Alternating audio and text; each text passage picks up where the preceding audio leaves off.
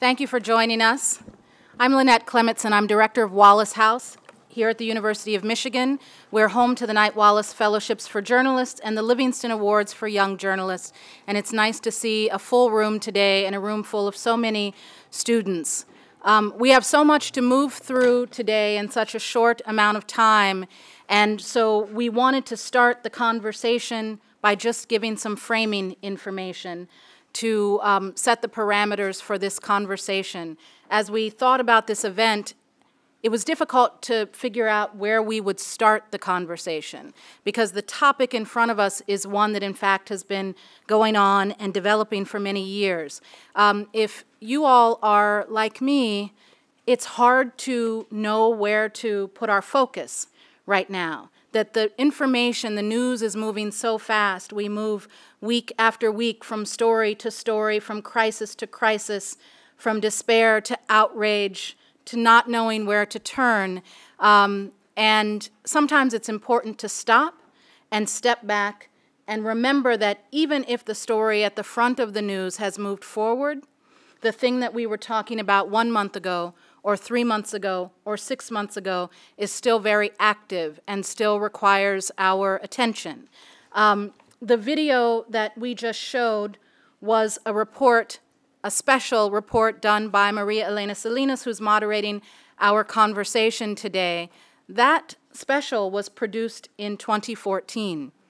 It could just as have easily been produced last month. Uh, and so these issues are still very much in front of us. And we were discussing before we gathered here today that one of the things, the framing for this conversation is, of course, where are we?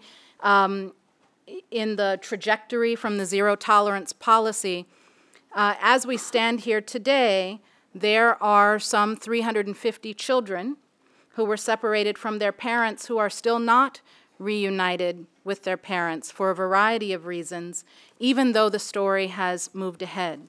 And so we are a program certainly for journalists. We're a program that believes you can use strong journalism to frame important conversations, um, even if this is not what is leading the news tonight, we hope that this will be a space that you can stay in with us for this moment and that it's something that you will continue to focus on and discuss after this event is over.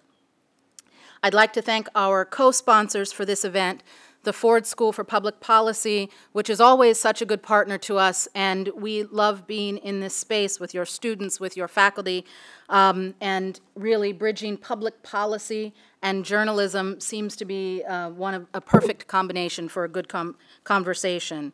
Uh, the National Center for Institutional Diversity, we have several of our partners from NCID in the room, and they've been instrumental in uh, with us in thinking about how we did outreach for this event. There are so many things happening on campus every day, and uh, you could go to events all day, every day, and never go to class and have a very full, full schedule. And so for our partners who helped us get people to this event for this conversation, we're grateful the Office of Diversity, Equity, and Inclusion, the Center for Latin American and Caribbean Studies, and again for our partners who helped us um, promote this event around campus, the Department of Latin American Studies and the Department of American Culture.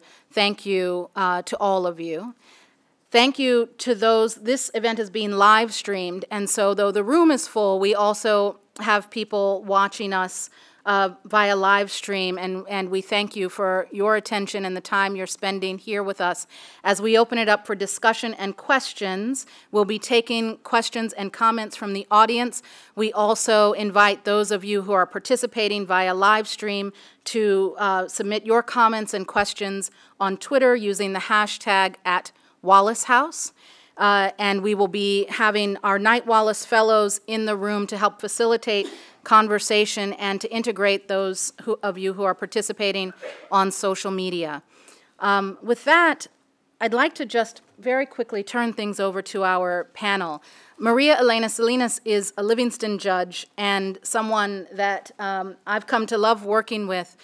But uh, I did not want to introduce her today because, as I've been made aware, even just in the past hour, there are people who smile when they see me, but almost faint when they see Maria Elena. uh, and, and there are people for whom, if they don't get a picture with her today, their parents may not let them come home for the holidays. And, and so, so I've asked a student uh, to introduce Maria Elena and get our program started. I'd like to turn the podium over to Jose Lujano. He's 26.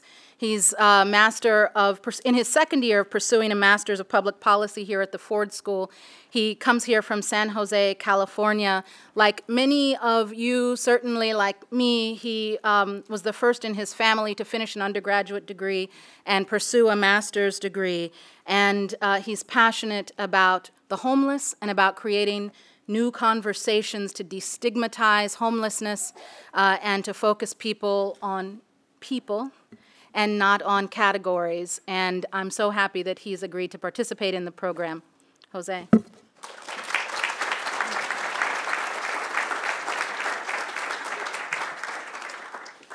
Thank you, Lynette.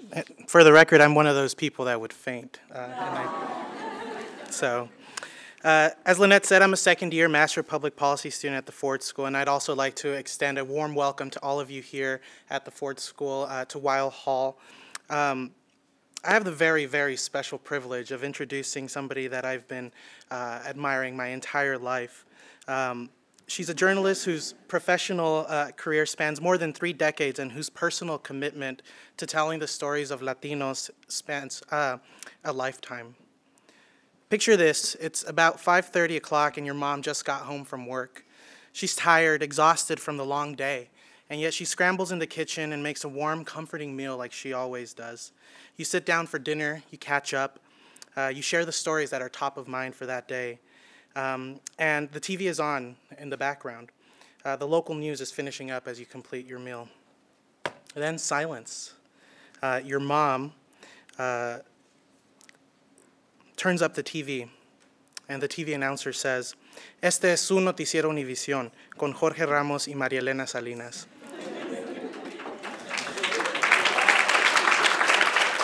Which literally translates to this is your evening news program with Jorge Ramos and Maria Elena Salinas.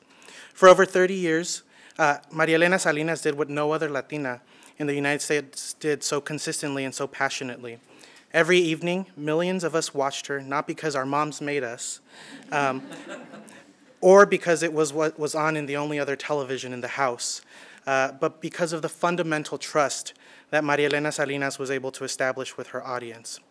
The trust that not only the news was accurate, but that the anchor delivering the news knew her audience stories as if they were her own. The story of a new immigrant to this country working hard to navigate a new society, or a hardworking mom feeding her family and staying current with the major news affecting us. Maria Elena Salinas is a hero to many, myself included, and though she no longer anchors the most watched Spanish language program in prime time, she remains committed to telling stories important to her audience in various different formats. This week, as we celebrate diversity, equity, and inclusion throughout the University of Michigan, it should come to no surprise that we invite Maria Elena Salinas to moderate this distinguished panel of policy experts and journalists in a discussion of our current and historical crisis at the border. Uh, please give a very warm Ford School welcome to Maria Elena Salinas.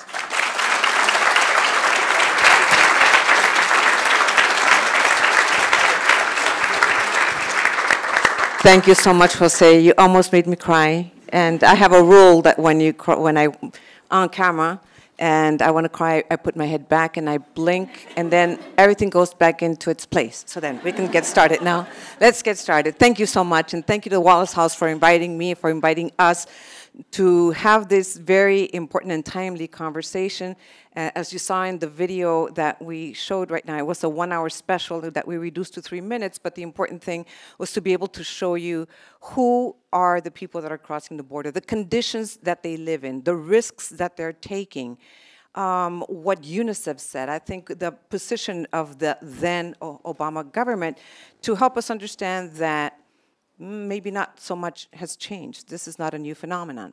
So let me introduce you to uh, our incredible panel today. Right next to me, Ann Lin, Associate Professor of Public Policy at Ford School of Public Policy here at the University of Michigan. She teaches courses on public policy implementation, gender and politics, qualitative research methods, and immigration. Lin is currently studying potential immigration policies and the beliefs of American immigrants with a special focus on Arab Americans. Thank you for being here, Ann.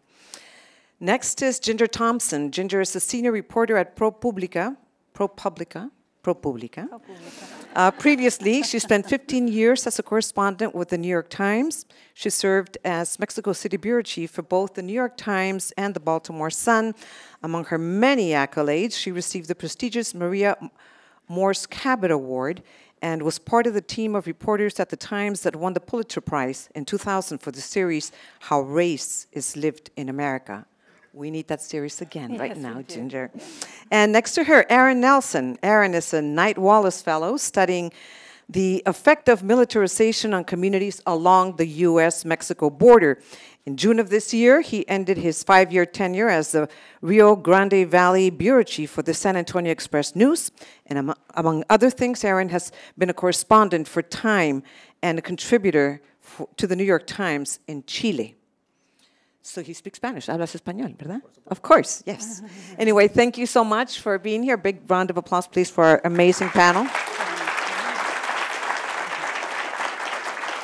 We're going to begin with the questions, but as Lynette said, we are going to be opening it up for questions in a little while, but we also want anyone that feels that they have a story that would like to share or a comment that they would like to make to feel free to do so.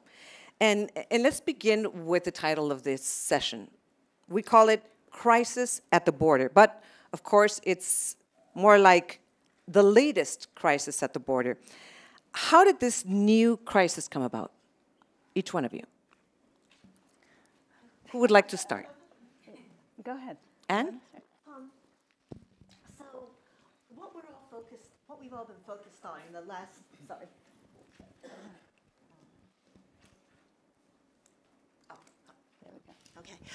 What we've all been focused on most recently, of course, is the family separation policy, which is a policy that really came about because of um, a certain lack of a of so it became both of a new approach to immigration enforcement and at the same time also a lack of concern um, about the details, about how that new policy of enforcement would be carried out. And so you might think of it as two things. One, um, if you come to the United States and you are asking for asylum, you can do so legally if you come in through a border entry point.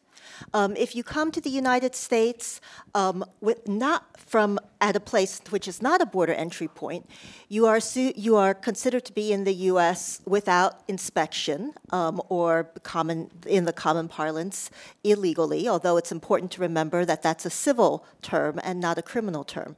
At any rate, when you come in and if you run across border control and at border patrol, and at that point you say.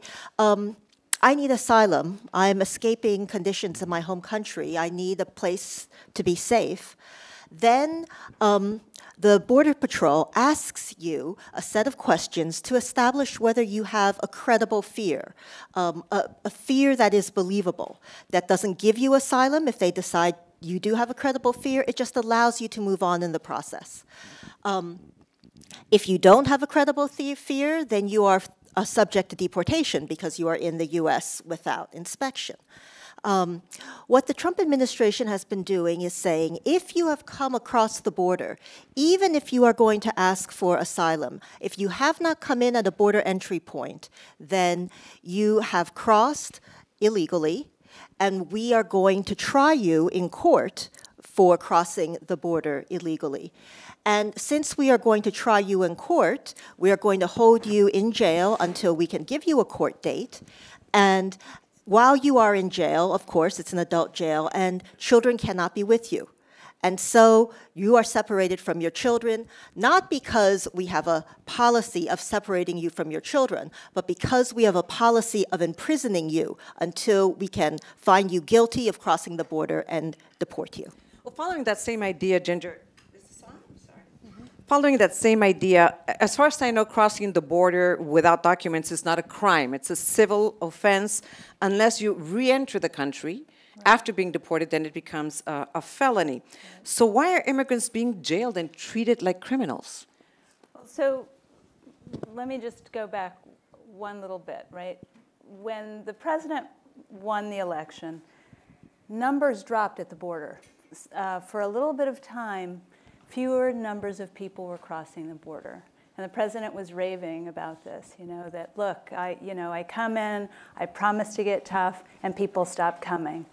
Shortly after that, however, when immigrants realized that it was mostly talk and not much was really changing in terms of enforcement at the border, the numbers began to rise again. And when those numbers began to rise, and then there was even a caravan of immigrants that sort of publicly made clear that it was approaching the border, uh, many of them women and children or fathers and children, the president reacted. And the president said, you know, we're going to put a stop to this.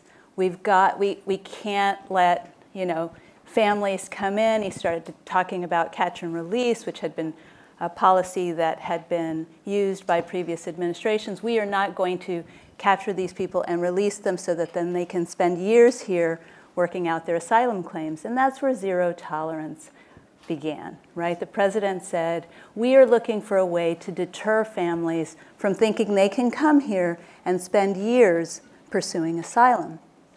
And so he took a measure that went a step further than the Obama administration, and he pulled these families apart. He arrested the adults and charged them for the first time. I mean, immigrants had been prosecuted for entering the border illegally um, in low numbers under Obama. But what he didn't do is separate people from their children during that prosecution. And again, it was an attempt to deter people from coming, right? So that you got one strike, you'd get charged with illegal entry. The second time, you could be put into jail for a long time. That first time, you were treated, it was a misdemeanor crime and you were released. But if you got charged a second time, then it was a felony and you could be held for a long time. It, this administration changed that and said, we will prosecute you and, and threaten to put you in jail. But not only that, we're going to um, take your children away from you while you're being prosecuted. And so, it, did that answer your question? Yes, it did. And, and, one of the problems with that is that they didn't keep any record. They just started randomly separating families. And suddenly, when it was time to reunite the families, they didn't know where they were. There was a child in New York with a mother in Seattle. The, the mother didn't know where the child was, and neither did the administration. Uh, Aaron, you were there on the ground. You covered from 2013 to just um, this past June. Uh, what did you see during the time that you were there, and how did it change from 2013 to this past June? Uh, hi. So, yeah, in 2013, 2014, we started to see a surge of Central Americans arriving at the southern border, specifically in South Texas, um, which was significant because for many years, the largest group of people arriving at our southern border were Mexicans. And those numbers started to decline in uh, 2008, 9, 10, and by 2014, we see uh, huge numbers of families, uh, children unaccompanied by a parent, arriving at the southern border, um, mainly from Honduras, El Salvador, and Guatemala. Um, it was a crisis for Obama as well. They just didn't have the infrastructure to deal with it. Uh, they attempted a uh, similar policy of family detention. Um, they uh, were unsuccessful in doing that. Uh, the Obama administration also tried to uh, export our border or uh, move the border into southern Mexico. So Mexico implemented this southern border plan. Um, and they started arresting huge numbers of Central Americans. So we didn't really see the numbers of Central Americans decline. It just turned out that Mexicans were apprehending them and not U.S. Uh, Border Patrol. Um, but once again, you know, uh, fast forward a few years, and we're still seeing the same people fleeing the region, uh, fleeing the same circumstances of violence, of public corruption, uh, of poverty, of uh, uh, joblessness, and uh, these hardline policies have done really very little to, to stop that flow. You told me before, when we were talking about preparing for this session, that what you saw, Aaron, was a change not only in in the way that people were treated, but the way that the Border Patrol was responding to it and the way that they were communicating with the press. Can you explain that to us, please? Well, under the Obama administration, uh, Border Patrol was pretty straightforward with how they communicated the numbers of people they were apprehending, the circumstances in which they were being apprehended. Um, but under Trump, uh, there was a real change in the tenor of the way that they were communicating uh, with the public. So um, by December of 2016, uh, we started seeing uh, CBP officers, those are the men and women that work at the ports of entry, uh, turning people back. Uh, there were people who were crossing the bridges. So when we talk again about the people that are crossing the border and requesting asylum, there's also tens of thousands of people that cross the ports of entry and request uh, uh, credible fear interviews. Um, but CBP officers were turning them back and telling uh, migrants, we don't, we don't have to give you this interview because Trump is our president. Um, they started putting out these press releases of a volatile border, uh, agents under attack, MS-13 gang members pouring across the border. So it starts to change the, the narrative in, in the way uh, that uh, uh, Border Patrol was talking about the border. Now, the, the, the thing about that is that uh, the numbers are, are really at historic lows. I mean, in 2000, we had 1.6 million uh, apprehensions, uh, and as Ginger mentioned, last year, which was a little bit of an anomaly, we had about 300,000, and this year it's still going to be below 400,000, so we are at historic uh, low levels. Um, and the border, quite frankly, has never been more secure than it is right now. Uh, but nevertheless, Border Patrol paints a very uh, haunting picture of being overrun and under attack. I, have a question that's a little bit of a political question. Uh, and the Trump administration said that they were just applying a law that was put in place by the Democrats. Is there such a law put in place by the Democrats that called for the separation of children? There isn't a law. What there is is a court settlement, the Flores settlement. And this, again, predates the Obama administration, but it basically says that children who are, if children are detained in the course of an immigration case, they should be kept in the least restrictive setting possible and if possible, not detained in a large scale setting, but placed um, with family or other caretakers. Um, and so that's on one side. And on the other side, um, the Trump administration is saying, so so to let me to let me continue there. Um, so the Trump administration said, well, so here's somebody coming to ask for asylum with their child. We do not. They have crossed the border illegally. Um, you. We are going to detain you because you've broken this law, um, and we're going to send you back. And since a child can't be detained, or children should not be should be detained in the least restrictive setting possible, we can't put them in an adult detention center. Okay, but what happens when these people cross over and they say, "I want an, a, a hearing because I want to ask for asylum"? Then they are refugees, not immigrants. What is the difference, and how should they be treated differently? Well, so the so this is a wonderful question, Maria Elena, because I think it strikes at something which is a real contradiction um, in our understanding of immigration. Um, we have stories, of course, everybody has a story of the immigrant who comes to the United States, they want to work hard, um, they're fleeing persecution um, in their own country, they're fleeing horrible conditions, and here they come to the United States. But under international law, only if you are fleeing a country where you are personally persecuted, where it's not just, I, you know, there's war, there are bombs, you know, there's corruption, there are gangs, but you are personally targeted, and you are personally targeted because of your race, your religion, your ethnicity, um, your political belief, or your membership in a disfavored social group. Only for those five reasons do we consider you a refugee. Refugees are treated quite differently from immigrants. Um, refugees, there is an international obligation for countries not to send them back. That's not mind you, an international obligation to accept them as permanent residents or citizens in your country. But there is an obligation not to send them back where they could be um, harmed. And so the credible fear interview that we've been talking about here is really a Border Patrol officer's own estimation of whether he or she thinks you are going to be, you are, you fear the personal persecution because of your race, religion, etc.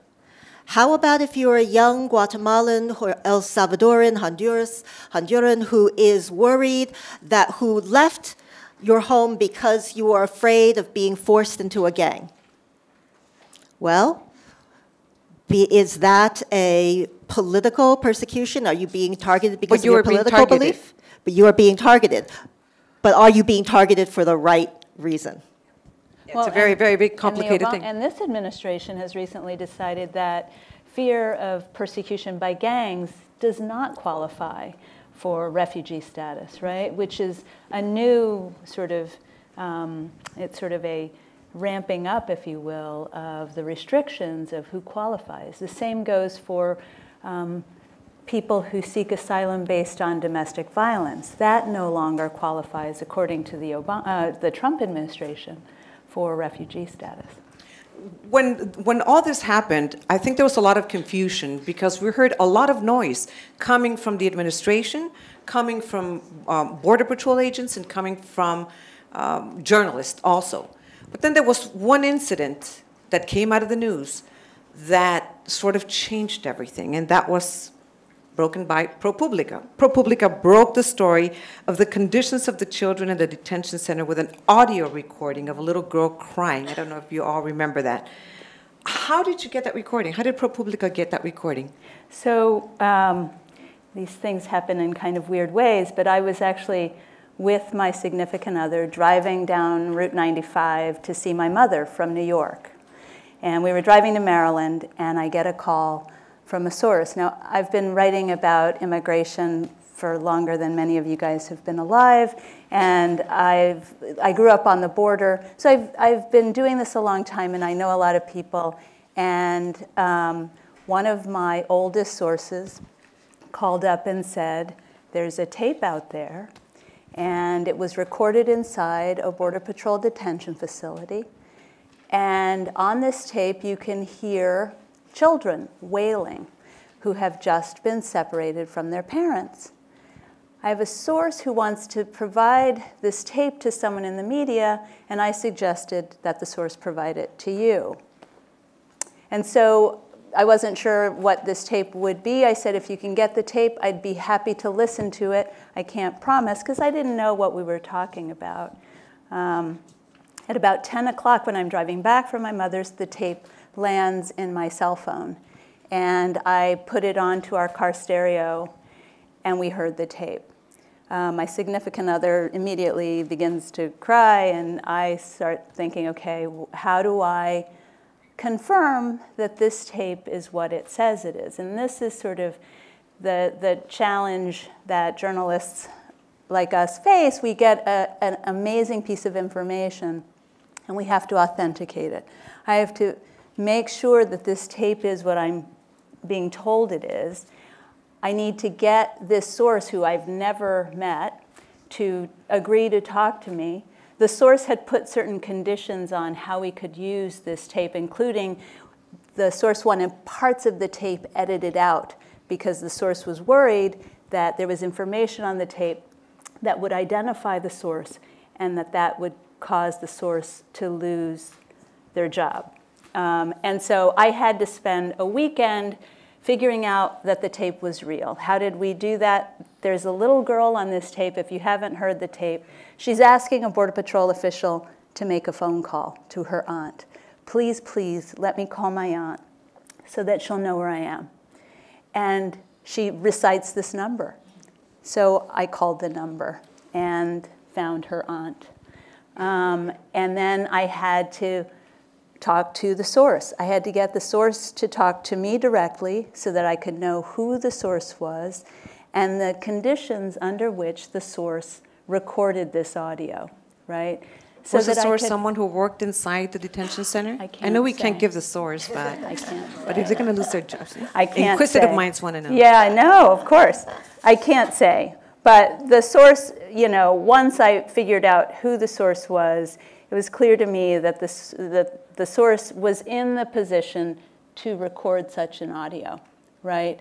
And, and then I had to, um, you know, I had to make sure that um, we authenticated the tape, we, we talked to the source, um, and then, you know, just figuring out how, how, how we could put this forward. Oh, the last thing was the source wanted the tape edited. That's the thing. Source wanted the tape edited, and we said clearly we cannot edit the tape because then we'll, we'll be accused of doctoring the tape. And we basically told the source that, look, this is a potentially game changing piece of information, and there is a risk that if we play this whole tape, that your identity will be discovered. Um, but is this the kind of information that is worth the risk, right? The, the source had clearly recorded this tape with game changing in mind, clearly had reached out to the media because the source wanted something to be done about this policy.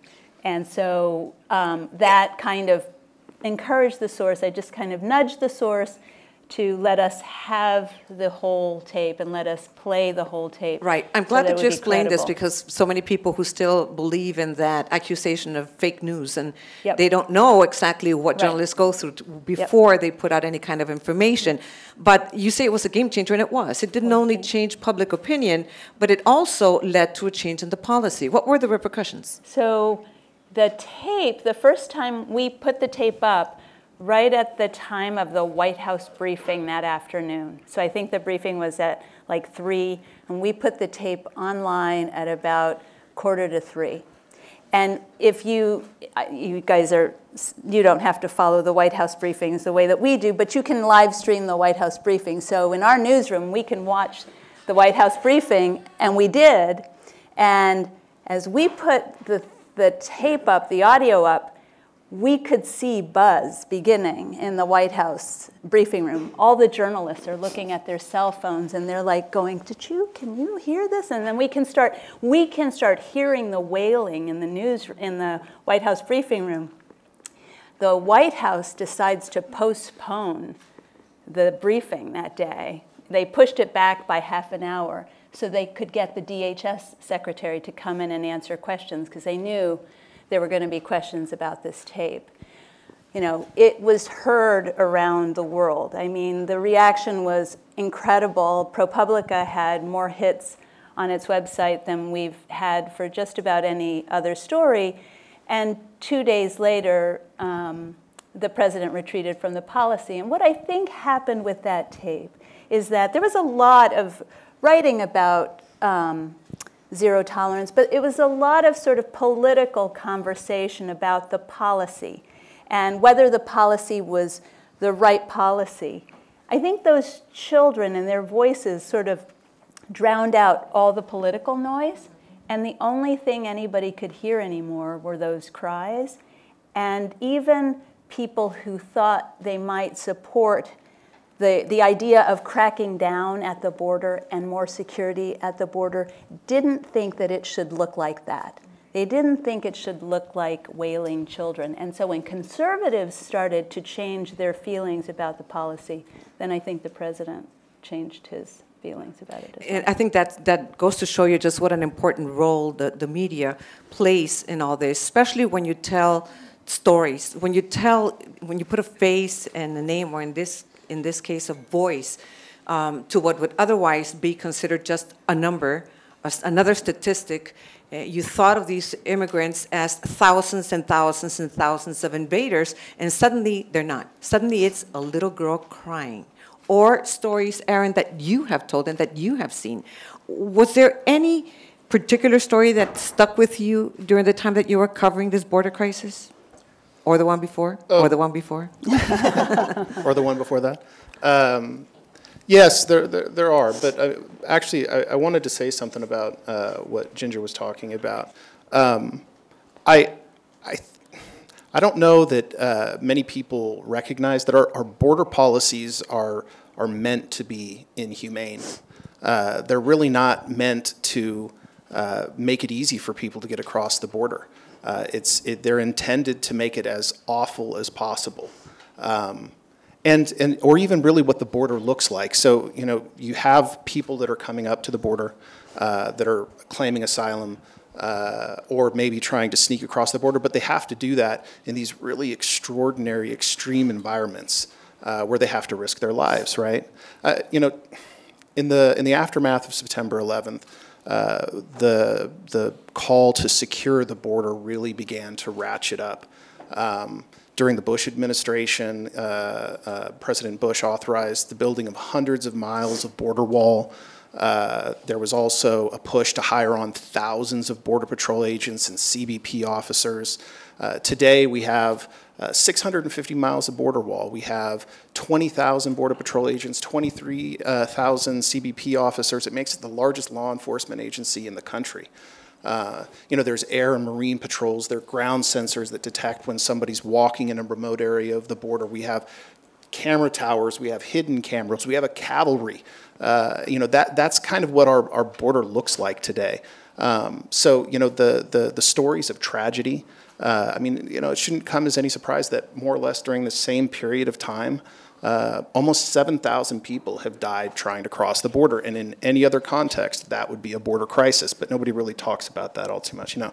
Um, and yes, uh, you know, I spent some time in Central America. Uh, I've spent some time with families of Central Americans who are looking for their loved ones uh, who have disappeared on the trek through Mexico. See, that's the other part of the border policy that nobody talks about too much. Because of how difficult it is to get across the border, uh, it, it really it it makes the smuggling of immigrants a very lucrative enterprise. So you have, uh, you have uh, drug cartels that have largely taken over uh, the movement of migrants through Mexico. Uh, and even if somebody's lucky enough to get all the way through Mexico without being beaten or kidnapped, uh, without being sexually assaulted, uh, they get to the border and they're going to have to pay somebody to get across the border, probably thousands of dollars. Um, and so the, the, the thing that I, I think is often missed or ignored in these conversations is that the people that are coming, they'll ride atop trains, they'll cram themselves into tractor trailers, they'll march through the desert, they'll even risk the possibility of being separated at the border because for them the calculation is uh, you know, a grim future at home uh, or the possibility of maybe making it to the United States and, and uh, offering something better for their family. And from what your research, who are these people that are climbing the trains and, and, and going into trailers and risking their lives to cross here? Are they um, criminals and rapists and drug dealers? Um, they're no. They're no is the answer to that. but I think it's they, the people who, as as both I think Ginger and Aaron have made clear, people are coming not only because, and sometimes not even primarily because, they think a better life waits for them in the United States. They know that if they get to the US, it's not going to be easy. Um, they are running because they're being pushed out because crime has made it impossible for them to um, have a business, sell the sell their sell food, um, put their kids in school. They are running because gang members are demanding protection um, if they're going to be able to continue to live in their house, continue to um, work in the market. Um, they are running because they do not have a job and they have no prospects of a job and they cannot figure out how they're going to keep their children alive um, another month. So under those conditions, people endure really extraordinary hardships to get here. And it's difficult, I think, if you go back to that definition of refugee versus immigrant, it's really difficult, I think, to say to somebody, oh, well, you're not suffering for the right reason. And because you're not suffering for the right reason, we don't have a place for you. Can you put the current migration of people from Central America in the context of other refugee movements um, to the US? People forget that we are a country of immigrants and that unless you're Native American, we are all children of immigrants. We're immigrants ourselves, or children, or grandchildren, or, or great grandchildren of immigrants. Sure. So, um, President Trump just announced that this year's refugee ceiling will be 30,000 people. Um, and that 30,000, it's unclear that we'll actually get to that number because that just means how many visas they're willing to grant. It doesn't include the fact that people are going through, really at this point, years of vetting before they actually get to the visa. Um, and so last year, our refugee ceiling was, I think, 40, 45,000, and we did not get to that number. Um, under, in President Obama's um, most, the, the year that had the largest refugee allotment was over 100,000. But in 1980, the US took in more than 200,000 immigrants that year. And why did we take in that many? We took in that many for two reasons. One, um, because of the, the thousands of Indo the, of um, Indo-Asian, Vietnamese, Caribbean, uh, sorry, Vietnamese, Cambodian, Laos, um, Hmong refugees, which had been who had been displaced by um, wars that we participated in in Southeast Asia, and the Mariel boat lift. Um, Cubans coming um, to the United States because Castro said, if you want to leave, leave now. I'm not going to stop you, right? Um, countries all over the world are hit by refugee movements that are really, you know, have that, they come up, they're a crisis, they, they come up, people have to leave.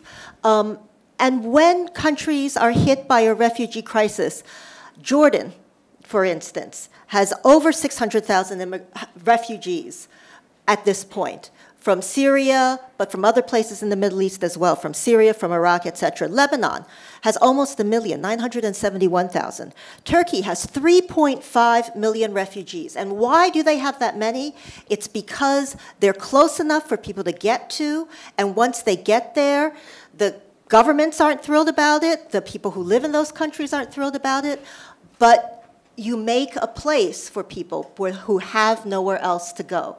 The United States has been lucky enough that we have oceans around us. We have been insulated from a lot of these refugee movements, but now we have one at our southern border. People are leaving because they have no choice, right? And we have not been willing to think about what it means to have a refugee movement sitting at our border that we do not want to acknowledge. Ginger, what would you say to those who claim uh, aren't 30,000 enough? Why do we need to let them in? Why does the United States have the responsibility of accepting the people that are asking for uh, well, asylum? I mean, it's, I, I can say this, you know, we are signatories to international treaties that hold us responsible for not returning people who have a credible fear or a credible claim of being harmed if they're sent back home. I mean, it's just a matter of international law, and it's our, it's our obligation. We signed up for that obligation. And am I wrong, wrong on that? So we, we've signed up for this obligation, and as, as, as a part of that, then, we accept that we may have to take in more people than necessarily is comfortable, just like all these countries that she ju- that we just listed and just listed. And so, um, so I think it's a matter of, of our, you know, our international commitments. You want to weigh on it? Uh, yeah, I mean, in this particular crisis, I think that the United States bears some of the responsibility for it as well. Um, you know, uh, so a little bit of a, a history lesson uh, United States and its foreign policy and its immigration policies are partly to blame for what's spurring the, the exodus of people from Central America. Uh, during the 70s and 80s, the United States was very active in trying to thwart the advance of communism in Central America. Uh, that led to uh, high rates of violence and people fleeing Central America. Many of them end up in the United States. They end up in cities that had really bad gang problems. Um, in order to defend themselves, they formed gangs of their own. Uh, they were legal permanent residents or green card holders, but if they committed crimes and they went to prison, they were deportable. Uh, and when they land back in Central America, they don't have perhaps the command of the language. Uh, they're in a country that they're not familiar with. Uh, but the one thing that they do have, the one resource that they have, uh, is this gang culture that they inherited in the United States, which, so in effect, we, uh, we exported to Central America. Now, again, you add that to this stew of really weak institutions, high poverty, uh, you know, a few job opportunities, um, I, and then uh, what has morphed into a monster of uh, uh, uh gang violence, um, extrajudicial killings, uh, and of course, you know, that has spurred another wave of migration. So, yeah, I mean, the United States, particularly in this case, is responsible to some extent for what we're seeing at our southern border. You're absolutely right. So when you hear um, President Trump say, we need a wall, we need a wall around, on, on the border to keep MS-13 out. Remember, they came from California, uh, not from, from, from the south. Um, what was the next question I wanted to ask? About the same thing. I'm sorry, I lost my train of thought with, with that. Um, the, the other uh, thing that they are accused of also in Central America is, or the U.S. is accused of in Central America, is uh, that we are the number one consumer of drugs, correct? What the Central Americans say is, you know, they put the users and we put the dead. Uh, we're the ones that are suffering the violence um, in Central America, in Mexico, in some parts of South America, while the United States is enjoying uh, this drug use and not really doing anything to fight it. Is that a, a, valid excuse? I know for the special that you saw there, I interviewed the heads of state of Guatemala and Honduras, and that's exactly what they said.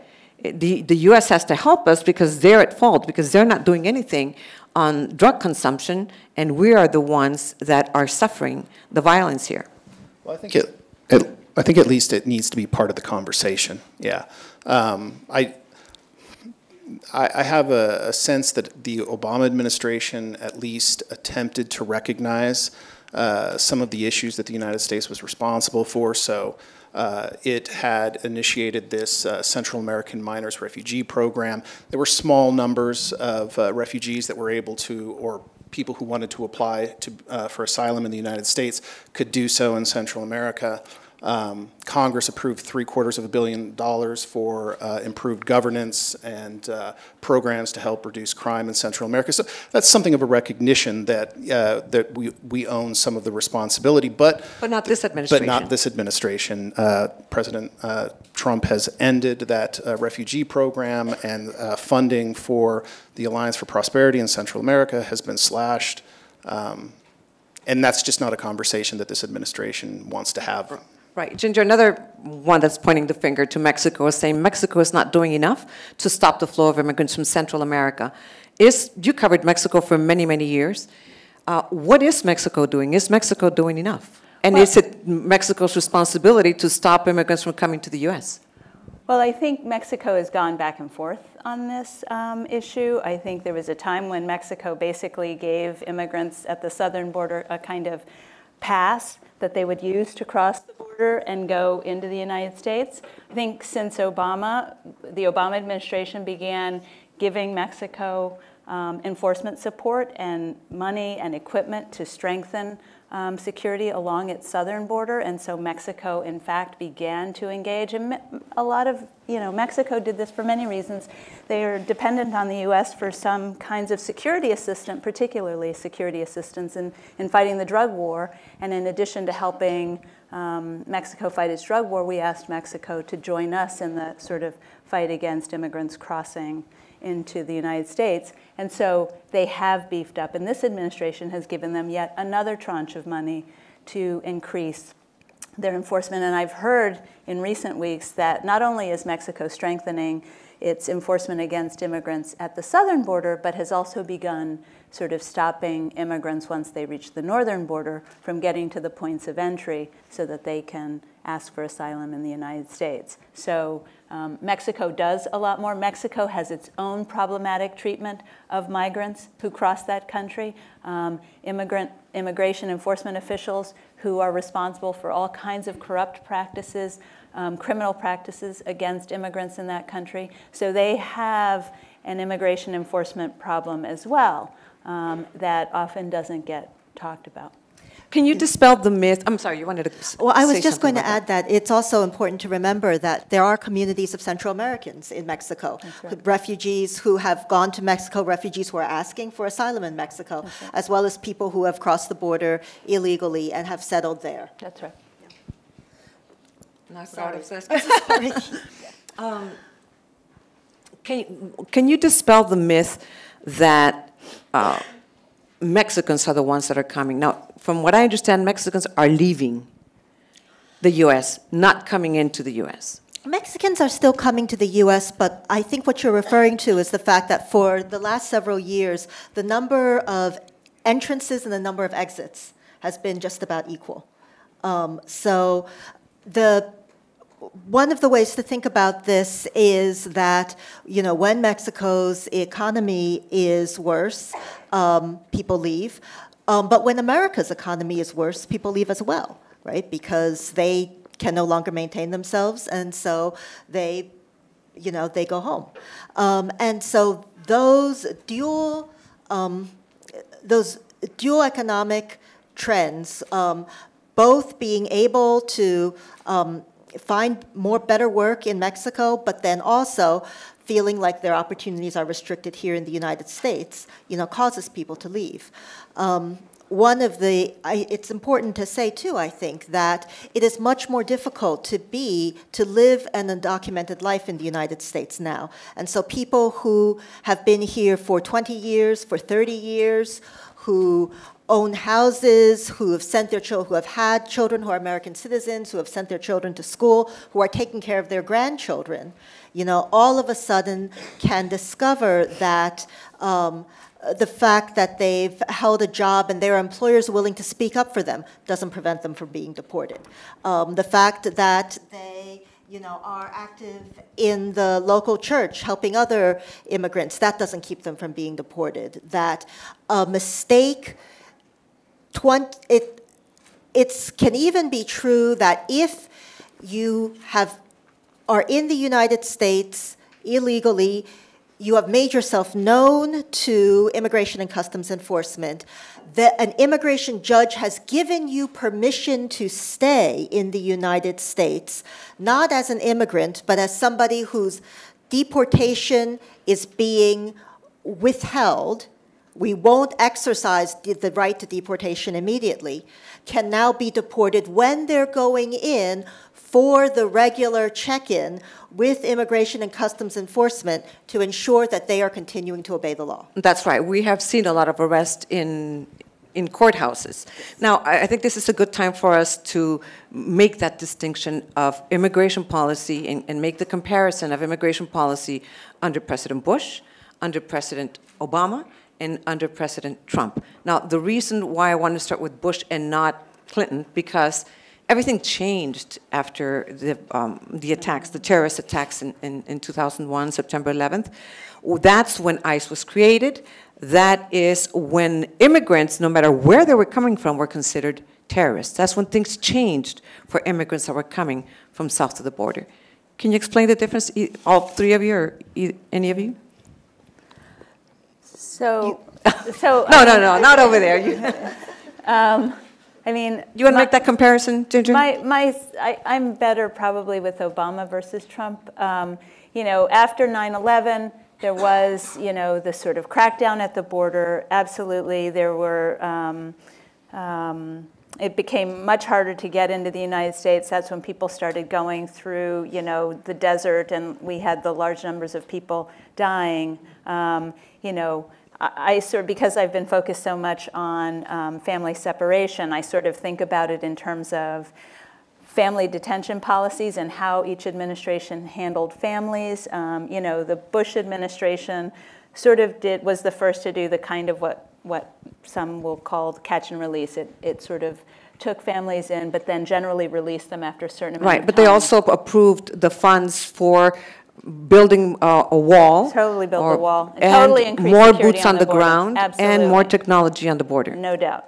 And then the Obama administration sort of used this machinery that was built by the Bush administration and sort of sent it into overdrive in the first couple of years of the administration, and that's when the deportation numbers went through the roof. Um, and he basically, you know, for the same reasons of deterrence, trying to discourage people from coming, crack down on enforcement. But he wasn't only picking up people at the border, there was family separation happening internally, inside the country. So people who had gone back home for a visit but came back in that second or third time and already had kids in the United States, those people were getting sent back in large numbers um, under the Obama administration. And as far as family detention, that's where it was the Obama administration that was sued by the ACLU because it was detaining families for long periods of time in family detention facilities, including kids. And so, under the Flores Agreement, a, a judge came, um, Judge Gee, um, ordered under Flores that children could not be detained for longer than 20 days. And that's that 20 day period that the Trump administration was required to abide by, which then they used to say, well, if we can't hold kids for 20 days with their parents, then we're going to separate the families. And so it kind of evolved in that way, if that makes sense. Yeah, yeah. Aaron, you wanted to add to that? Yeah. I was just going to say um, a, a, few of the changes that I saw. Uh, one, uh, the border towns on the Mexican side of the border uh, became uh, increasingly volatile. Uh, this is where uh, you find uh, thousands of immigrants that are at some point going to try to get across the border. perhaps they're going to sneak across the border or they're going to walk across a, a, port of entry. Um, but again, because this is all controlled by organized crime, uh, these are very, very dangerous towns, particularly for migrants, because they are uh, easily exploitable. They don't have any resources there. Um, and then during the Obama administration, uh, when we saw these mass deportations, uh, people were deported to these towns. Um, and, and it's kind of hard to, to describe almost what that looks like when you're being deported in the middle of the night uh, to a cartel controlled town um, there were mass kidnappings. I mean, a lot of this stuff doesn't get reported. It's, it's difficult to report. Um, but we know that it happened. Um, in fact, one of the examples that I gave earlier uh, about uh, board, uh, CBP officers telling migrants to go back to Mexico, uh, I interviewed a woman who had uh, been coming up to the border in a van. It was maybe 17, 18 people in a passenger van and about uh, 30 miles from the border, the van flipped. Several people died. Uh, she was taken to a hospital. Her uh, leg was pretty badly broken, uh, and after several days in the hospital, all of the survivors were taken to a migrant shelter to convalesce. Um, she and all of the other survivors were still determined to get across the border. Um, she walks across the border. Border Patrol, uh, excuse me, CBP told her to go back to Reynosa, that was the uh, town on the Mexican side of the border, uh, where she was kidnapped. Um, and uh, as far as I, I, happened to interview her mother, and her mother didn't know where she was either. Um, and then, you know, on the on the U.S. side of the border, the way that the so it, it was under the Bush administration that Operation Streamline was put in place. Um, and so, yes, uh, crossing the border uh, is a misdemeanor, but uh, repeat uh, or illegal reentry is a felony um, and is punishable by up to 20 years in prison. So, if you go to almost any federal court along the border, uh, the front end of the judge's docket is filled with illegal reentry cases uh, you'll see 100, 150 people at a time, you know, the mass sentencings. I mean, that really started to ratchet up under the Bush administration and particularly under the Obama administration. We're seeing it again uh, with the Trump administration. The difference uh, with the Trump administration is that I started to see uh, parents that were standing up and asking a judge. Uh, I was separated from my son at the border, uh, or my daughter at the border, and the judge kind of shrugging his or her shoulders and saying, "Oh, there's nothing that I can really do for you. Good luck. Um, you know, you're sentenced to three years in prison." Um, yeah, I mean, so it's it's kind of been each administration. Uh, and the policies of the previous administration has made the following administration possible, basically. Right. Now, we know that when, when the um, Bush administration had those walls built in part of the, of the border, especially in California, then what we saw is, is migrants trying to come in through Arizona, uh, through the desert. It was much more dangerous. There were a lot more deaths. So is basically the militarization of the border and building a wall, the, is that the answer? Is that the solution? Clearly not. I mean, people are still mm-hmm. coming, right? I mean, again, I, I just, I, It ha, uh, it- yeah, it hasn't worked so far. no, it- you know, it hasn't worked And so it's- far. It's militarized. Is there a solution? Do you think that there is a humane solution to this problem? Um, I think the border question is slightly different from the, the, the, the, refu- the Central American refugee situation. Um, I mean, I will, this, I will be clear about this. Um, as both Ginger and Aaron have stated, um, border policy is tough. It is deliberately tough. It is meant to deter people from coming. Um, it is meant to, and it is unreasonable, I think, to think that under any administration, Republican or Democrat, um, that an, the administration would not want to make it difficult for people to come across a border where they're not supposed to come, right? But there are things you can do people can come across the border asking for, for asylum, and you can say, we will give you a tether, an electronic tether, and we will, you know, let you find your own way um, as long as you come back for your court trial, for your hearings, um, when you're supposed to. And we have done that, and the return rate of, um, of asylum seekers to these hearings is at 90%. I mean, people are, people do not disappear. People want to come back because they want, they hope that they will be able to get um, permission to stay in the US. Um, you can say to people, um, if you're going to come across the border, um, you can't come, you can't stay um, in the United States, but we can provide you temporary protection. And we have done that. We have provided over the years. We've created temporary protection for um, El Salvadorans, temporary protection for Liberians. Um, a lot of these temporary protected status, prote- temporary protection programs um, are now being ended by the Department of Homeland Security. So while Ginger is telling us what she thinks could be a humane solution to this problem, I want you to start preparing your questions, or if you want to share a story, or if you want to make a comment, and the microphone is right there in the middle. So start thinking of your questions. And Ginger, what do you think is a humane solution to this problem? Well, you know, I feel like this is sort of out of my area of expertise and probably area of responsibility. I mean, I think as, as, as a journalist, it's like I, I can say that, um, you know, certainly what, what we're doing um, hasn't worked. Certainly what we're doing has had, has caused harm to families who, have, who are crossing the border, many of them because they have no real choice but to try to come here to make a better way for themselves.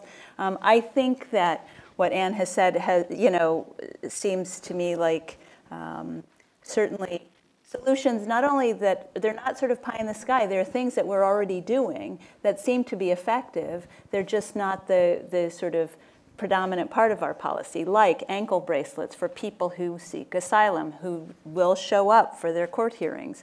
Um, so i think it, it's not rocket science. I think there are programs out there that we have tried and that, that show some promise that could be sort of explored that's my way of we. You know, you can also reasoning send out. your questions via Twitter, hashtag Wallace House. And uh, uh, for those who are watching live stream or for those who are here who are camera shy and would prefer to send the question via Twitter and not necessarily um, in person. Um, let's begin with the questions. Go ahead, introduce yourself, please. Hello, everyone. Uh, is this on? Can you hear me? Yes. Okay. Hello, everyone. My name is Rebecca Ontiveros, um, and I'm an attorney at the Michigan Immigrant Rights Center. And I want to use this time to do three things. Uh, first of all, thank you, thank our panelists and our moderator for being here today, and really just for sharing your knowledge, your experience, um, and also just shedding light on this issue. I think we all have a, an important role to play in this immigrant rights movement, which I believe is the civil rights issue of our current day. So um, I really want to thank you and applaud you for, for being here today and sharing that with us. Um, second, I want to use this opportunity to really just give you guys an update um, here in Michigan and the status of child separation, and, and also um, motivate you for a call to action and something that you can do um, to help uh, during this time. So um, I'm a part of the unaccompanied children's team, so I represent the children that were separated from their parents and were here, placed here in Michigan. Um, I'm happy to say that you know we didn't lose track of the parents and the children, although it was very difficult tracking all of the parents in detention. As of a couple of weeks, we had about four children who were still um, still needed to be reunited with their parents, but the uh, immigration judge on those four cases granted voluntary departure uh, for the children, which means that they are able to depart. Now, um, all that is needed is just the travel documentation uh, for, for the children uh, so they can uh, go back home. But um, I do want to point out that uh, many times after the children are uh, reunited with their parents, it's not necessarily then when uh, everything is fine. Um, there is a, a, a, story of a six year old uh, girl, Guatemalan girl, that was featured on Univision actually, Ana Yancy. And she is suffering from severe psychological trauma after being here in Michigan about three to three and a half months, um, then granted voluntary departure and reunited. She has severe PTSD and um, her parents just can't get through her and her family and her friends. Um, so I do want to point out that it doesn't always end right after they're reunited with their parents. And why is this important? It's very real that there is an attack by the administration on immigrant families and immigrant children. Um, and I think you and Ginger both talked about the Flores regulation. And um, right now, there, there's been a, a, regulation that's been published. Right now, there's a comment period. It ends on November 6th. Basically, what is it allowing is allowing uh, the indefinite detention of children with their parent, parents while the duration of the proceedings. So if you think about it, an asylum case can take, I don't know, three to five years, the children being detained with their families throughout the duration of that time. Um, and this runs contrary to the Flores agreement, which you know says the least restrictive setting um, doesn't only uh, allows for detention for 20 days, which is 20 days too long in my opinion, but uh, there you have it. This would allow for more. Um, anyone can comment. Uh, so if you're interested in, uh, in commenting on that, come talk to me. I can give you resources, can give you templates, um, and that's something that you can do tangibly. If you have a sub subject matter expertise, if you're a psychologist, an educator, um, we, uh, I could work with you in, in tailoring. Thank you. Thank you for way. sharing that information. Thank you, Thank you very much. Next question. Do we have any Twitter questions? Yes. We have one Twitter question here, and then we'll go to you. We do. This one's directed towards Aaron Nelsen and Ginger Thompson. What is the effect that private companies and industries associated with border militarization have on policy? Well, I will say that they, there, there's a lot of money to be made in immigrant detention, right? Um, where um, federal prisons, criminal prisons, sort of decided to, because conditions were so bad in many private prisons, um, the federal government got out of um, the private prison business. That's not the case with immigrant detention. Immigrant detention is still largely a private company um, enterprise, and um, and um, you know, it. The, does that money influence policy? Definitely. Those companies give lots of money to elected officials, lots of money in Congress, lots of money. I think um, the GEO Group was one of the largest sponsors of President Trump's inauguration um, um, party celebration. And so um, there, there can be significant influence on, on policy. Yeah, uh, I, I agree. Um, I'm thinking of a small town in uh, South Texas that had a uh, private uh, immigrant detention facility.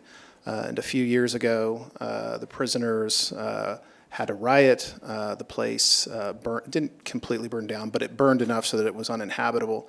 and the company, private company, decided to leave the town. Um, and this was a traumatic event for this small town because that was the industry. So, uh, you know, a lot of towns are uh, actively courting businesses uh, to put up their next detention facility in their town, uh, you know, as a job creator. Um, there are also uh, a lot of uh, you know, military. Uh, well, uh, Border Patrol has an expo every year where they're, you know, promoting all of the the new technology that they're selling, and then of course, if they don't sell it to Border Patrol, they sell it to local PDs, they sell it to sheriff's departments. Um, so it it's uh, it's it's big industry. Can I just say one thing on that prison? Is that Raymondville? Yep. So Raymondville burned down. It was a tent city, right? And tent cities just have this long, horrible history in the United States. They they tend to be doomed from the beginning. Now we're holding children in tents for the first time in Tornillo. But Raymondville was so dependent on that tent city that when they left, there was such an outcry in town that, that now they've rebuilt Yeah. a facility in Raymondville. It's not tents anymore, there's sort of hard structures, but that town wanted that facility, and their legislators got it back for them. So, so it's, it's important. It's all about money. Go ahead, sir. Hi, thank you for uh, speaking with us. My name is Joel, a senior studying business here at Michigan. And um, it, w- it was mentioned before, I believe, that um, you said that all illegal immigrants that are coming in are not rapists or not murderers. Um, there was a story about a month and a half ag- a month and a half ago. Molly Tibbetts, a college student from Iowa, was killed by someone who was later determined to be an illegal immigrant from Mexico. So I'm, my question for you is, how can you confidently say to us that the illegal immigrants coming in, all they want to do is help their families and get a job and support their kids when events like these happen? And although it is just one example, I believe that one is far too many. Thank you. Right, it is one example, and if you remember her father saying, uh, I've met a- with a lot of these Mexican immigrants, and they're just Iowans with better food. Um, That's, that was his quote, by the way, that's exactly what he said. It's true, you know, I think that there are studies that have been proven, I'm answering it, and I'm not even a- a panelist, you're supposed to be answering it. answer. Uh, Sorry.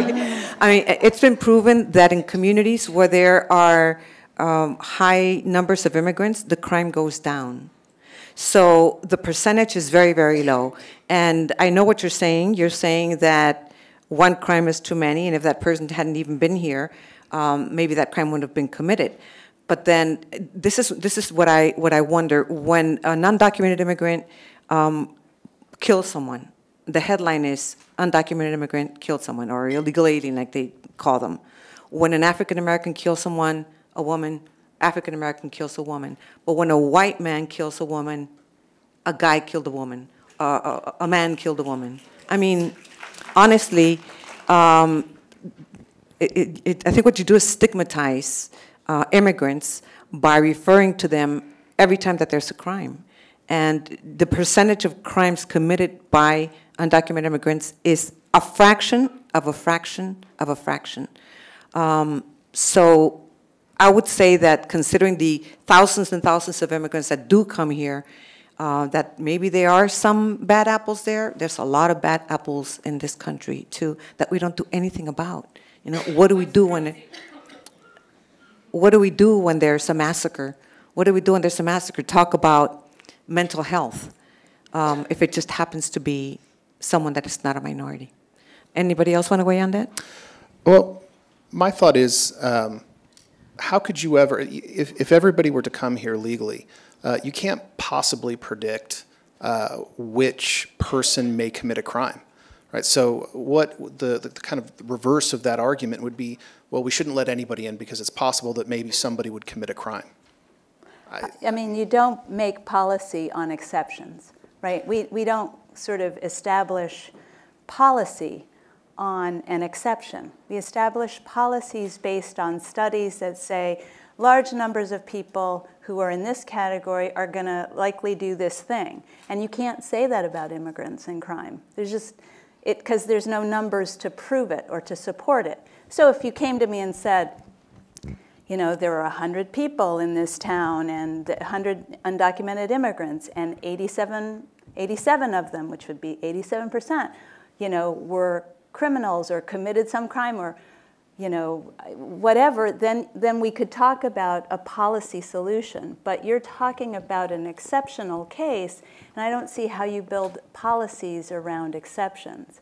I I mean, we just, it doesn't, it's not, it doesn't make sense to me why, why we would do No, but that. thank you for your question. It's definitely a valid question. I just want to thank the people behind me who booed when I was asking that question. No, oh, very much. no, it's a good question. No It is a booing, good it's a good question. It's a totally fair question. Any more Twitter questions? Go ahead. Okay. Um, so first, uh, thank you for your time. Um, and I have two quick points. The first one is connected to the uh, cap on refugees that I believe Professor Lin mentioned. Um, that I, I just want to make the point that um, it's an extraordinary policy that, that in my opinion, needs to change, um, and it's something we all very much need to pay attention to. It's kind of been lost in the news cycle of Brett Kavanaugh and that crisis, um, in my opinion. Um, but but I, I spent the last year living in Jordan, and the impact that the refugee crisis has had on Jordan is very real. The impact that it has had on Lebanon um, is, is even more so, and uh, much of that impact is due to policies implemented by the United States government in the Middle East. Um, so that's, that's a very important point for us to focus on. Um, and then also, I'm interested in a more academic sense um, to understand your your opinions on what might happen if the United States went for a policy of um, of, of open, almost open borders, where where there is a security check at the border, uh, but no no quotas, um, no caps. What what do you what do you think would realistically happen? Um, so I should say that, of course, no country has an open border policy. We often talk about the 19th century in America as a time when anybody could come, you know, anybody could come. But in fact, of course, we had Ellis Island and we had Angel Island, um, and we had restrictions at the border, and we also had state level restrictions. So I think, and the, uh, the example in our modern period is Europe, right, for which for many years Europeans had an open border for each other within the Schengen area, where you went through border control when you went to one Schengen country, but then moving from one country to another was not controlled by, uh, was no, there was no passport control for you. And in fact, um, the Schengen included um, what I think is absolutely necessary if you're going to have that kind of policy, which is not only was it possible for people to move across the border, it was possible for people to work legally um, in different countries. And, you know, if you, I think it's very clear that if you don't provide one, um, you have a lot of trouble with the other. Um, but I will, I, I think, I would actually go in a different direction and say to you that um, the U.S. is facing an important humanitarian problem, which, um, as you know, Aaron and Ginger have pointed out, is partly caused by, you know, our history in that part of the world.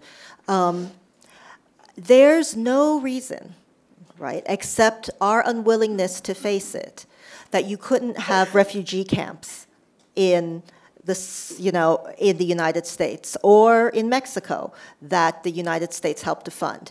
That's a miserable policy. Um, it's miserable because refugee camps are, you know, general places where people cannot move forward with their lives, right there.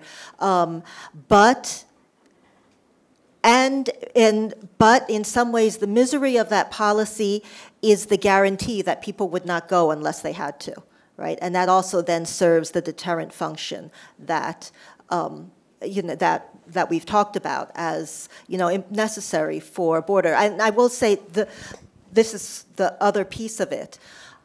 People come because they think that it will be safer here than somewhere else, right? If you make it completely safe to be here, that is, in a sort of hypothetical open border situation, of course more people are going to come. It's ridiculous. Why wouldn't they come, right? Um, and unless we are willing to, and that's not necessarily a bad thing either, but you would have to have a lot of other policy changes in our country in order to make it possible for people to come, because of course they would. I also think, Do we can have- I just add to that, Maria Elena? I, I wonder if, you know, another thing that I think the Obama administration has tried and the Trump administration has rolled back on, and that is money for programs in Central America that might make life more bearable in Central America. You know, and even when Obama did some of this, um, you know, they didn't put very much money into it, and it took a long time for the money to get spent. And so, so it was sort of a half-started effort. But you know, if if the United States would put some of its money where its mouth is and, and do some things in Central America that would perhaps stimulate the economy, perhaps create a real education system, perhaps clean up some of the corruption in the police forces down there. It's a big, it's a big job because things are pretty bad off down there and institutions are very crippled and very weak, but perhaps those things would go a long way to stopping people from coming. And, and so then the idea of a refugee camp might not be such an urgent Right. need. I, I think that everyone agrees that the best case scenario is that the conditions uh, improve in Central America and in Mexico and all these other countries so that migrants Right. don't feel the need to, to come to, to the U.S. uh, in search of a better life. I think we have a Twitter question. Uh, Ginger and Aaron, you've been covering immigration for a very long time. Uh, what is one story that has really stuck in your head over the course of your reporting?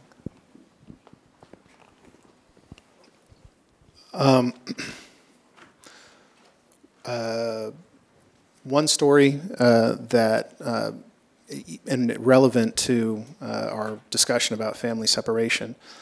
Uh, about a decade ago, I met a Guatemalan woman um, who had been separated from her kids. So uh, during the Obama administration's mass deportations, uh, there were tens of thousands of parents who were deported, uh, and they were separated from their kids. Um, often those kids would end up with uh, extended family, um, but uh, it wasn't uncommon for them to be put with a, a foster family. Uh, and in this one particular case, uh, the woman um, had crossed the border illegally. She was living undocumented in Nebraska and working in a, a meat packing plant. And she had two U.S. citizen children. Uh, the youngest, uh, a girl, fell ill, uh, and uh, Child Protective Services got involved. Um, they called immigration authorities on her, and she was arrested and she was deported. And she fought for her kids all the way to the Nebraska Supreme Court, where the court decided that her decision to cross the border illegally uh, clearly made her an unfit parent. Um, and furthermore, to send her children to live with her in Guatemala was uh, an unfair disadvantage. Uh, so they decided to sever her parental rights. Um, now, in this particular case, she was fortunate only in that uh, she uh, managed to find pro bono representation, um, and the case was reversed, and she was reunited with her kids, but only after having been separated for uh, two, three years. Uh, she was returned to Nebraska, and uh, you know I met her during this process of uh, trying to become familiar again and sort of uh, rekindle that family atmosphere for her two kids who no longer spoke Spanish, uh, much less Quiche, which was the native language that she spoke. Um, and still, at the end of that process, immigration determined that she needed to go back to Guatemala. Uh, and she did take her kids with her. Um, but that, uh, that, that uh, story really sticks with me because, um, uh, you know, unlike the family separations that are getting so much attention, rightfully so, uh, now, uh, you know, these were thousands of kids who uh, ended up with uh, American families um, that received very little attention. So I, I kind of reiterate the, this point that I made earlier is that our, our, immig- our immigration policies, our border policies in particular, but our immigration policies have long been uh, harsh and, and you might even describe them as being inhumane. Next question up there. It's a known defect in how humans process information that an example like the Tibbetts case overrides our intellectual knowledge, our certain knowledge that the immigrants as a group commit fewer crimes. And the reason is fairly obvious on a personal level. I mislaid my driver's license for about six months, and I drove without it. You could better believe I was obeying every traffic law I could find.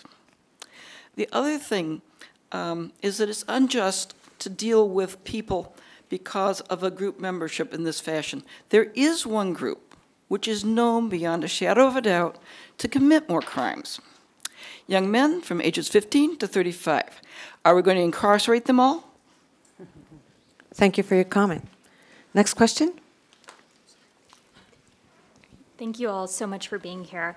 Um, there are a number of agencies involved in uh, the border crisis from this summer, whether that was ICE or CBP, DOJ, who was actually responsible for prosecuting, HHS, who was housing the children. So, how um, does that complicate the situation in terms of uh, responding to the crisis and uh, developing an appropriate solution? And how does that impede our efforts to hold government accountable? Is bureaucracy to blame? Um, in this case, you might say that bureaucracy wasn't given a chance to work. Because one of the, as, as you've stated, there are a lot of agencies who are involved in um, this family separation issue.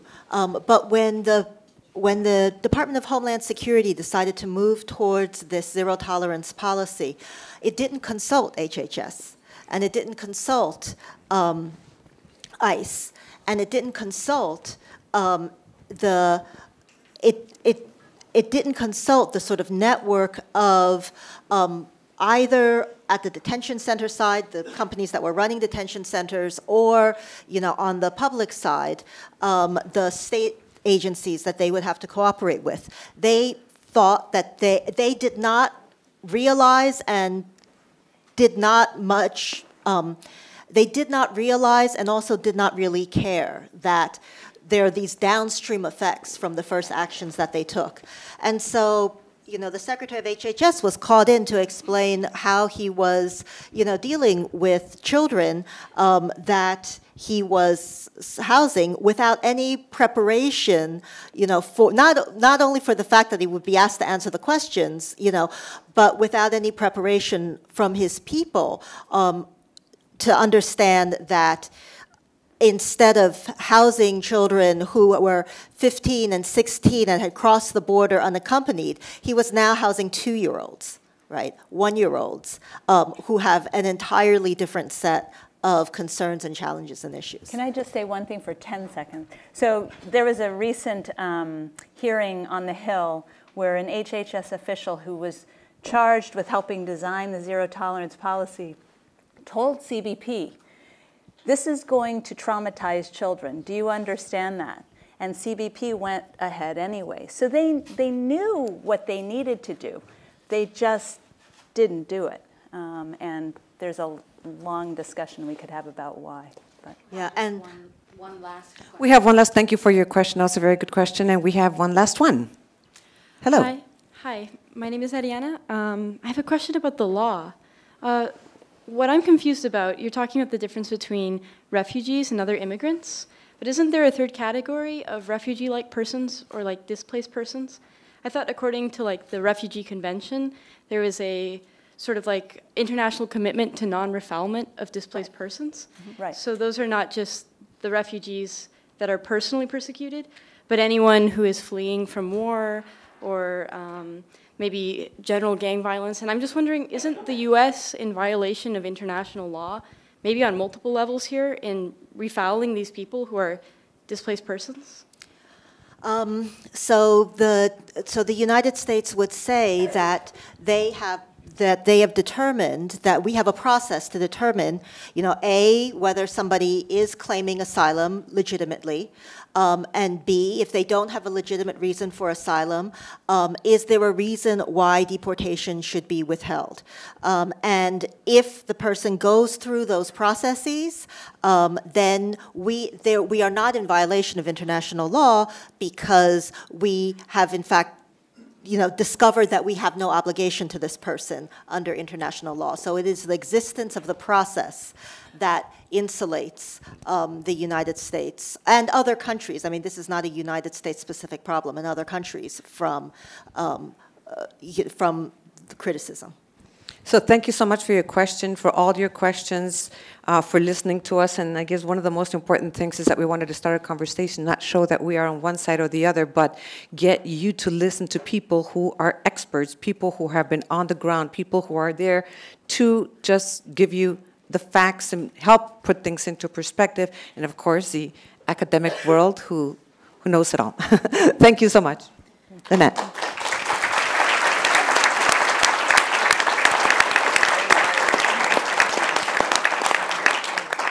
Um, thank you to Aaron, to Ginger, to Ann, and to Maria Elena for moving the conversation along. It was such a complex conversation. When we were talking beforehand in our first organizing meeting about what we would do here, um, we talked about what is, what is the goal of the conversation? Where would we like to take people? Where would we like to end? And we very quickly realized that in a conversation like this, the goal cannot be to provide answers um, because we'd still be here tomorrow and we still wouldn't have real answers. And so the goal we decided on was to provide context, to provide um, true on the ground experience, to provide different points of view and to provide connections with the audience and to provide thought provoking points of view that hopefully will make you want to look into some of the things that you learned about today, to find out more about the issues, to probe some of these angles more, and to figure out, as one of uh, the people who stepped first to the mic uh, proposed, figure out how you can participate in the conversation and toward getting to a place where, where there are some solutions that we follow through on. And so I really thank all of you for being here. The last thing I would say we are Wallace House, we are a journalism organization, and so this may be obvious, but I'm, I'm going to say it anyway. We convene these conversations because we believe that journalism matters. Very simple, very simple fact that journalism matters. And we, if, if we are to think about groups that are maligned and prosecuted right now, I think we have to say this out loud that journalism matters, and the work that journalists do to provide context, to provide reporting, to provide facts matters to our understanding of policy issues, to our understanding of people's lived experiences, and to our understanding of the world. And um, so we invite you to, to continue to participate in our discussions. They will always be framed around works of journalism with reporters with experience in the subjects that we're talking about and, and always with experts from the university to provide that cross context. We hope that you will stay after and talk to one another and to our panelists, and we look forward to seeing you again. To those of you who followed on live stream this entire time and shared your thoughts and questions, thank you as well for participating.